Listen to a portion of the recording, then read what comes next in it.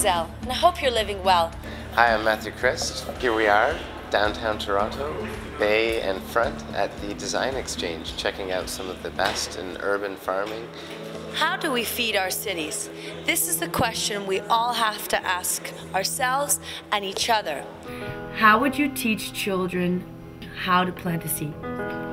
Well, first of all, I would show them the seed. One little seed like this, you can grow a flower. Here's a book on junior science seeds. Seeds grow into plants. There are lots of different kinds of seeds. A pumpkin cake. The seed, the yolk. And what came out of the seed? A pumpkin. We need local food sources and food being created directly in cities.